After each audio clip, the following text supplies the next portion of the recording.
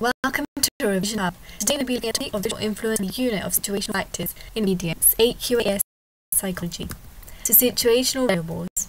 Milgram had three situational variables, the first one being proximity, and this is when the learner and the teacher were placed in the same room and it was found that obedience decreased from 65% to 40%.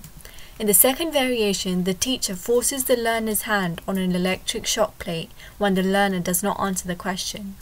30% obedience was found. In the third variation, the experimenter was not in the same room and gave instructions to the teacher over the phone.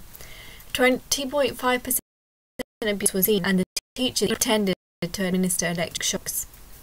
The second situational variable was location, so the experiment was run in a rundown building instead of Yale University, and so the experimenter had less authority and so 47.5% obedience was seen. The third situational variable was uniform. In the original study, the experimenter always wore a grey lab coat because it was a symbol of authority.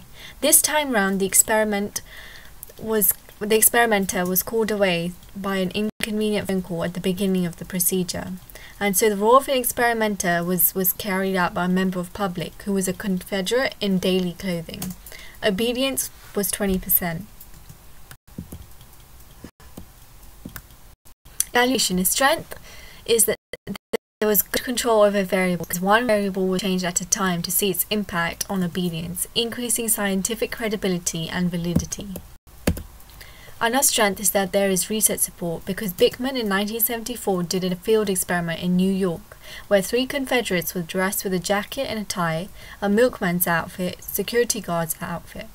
They stood on the street and asked people to do many different things, for example, pick up rubbish, give a coin to put in the parking meter, and it was found that the security guard was obeyed most of the time, just like Milgram suggested, because uniform shows authority, increasing reliability. However, a weakness is that there is a lack of internal validity because the participants may have realized the procedure was fake as a result of extra manipulation, for example, the experimenter being replaced by a member of public. Thus, the results may not be due to obedience as the, participants may be playing along, acting as demand characteristic, acting as a demand characteristic. Another weakness is that there is population bias because the experiment was done in America, and so the findings can't really be generalized because they're not representative of obedience in different countries around the world.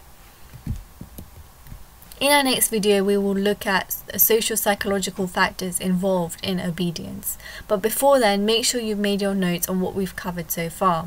Remember to revise, rest, test, and repeat yourself. Don't forget to follow us on Instagram, Thank you to Canva because I made these slides using their templates.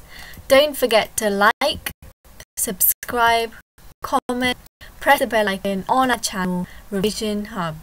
Thank you so much.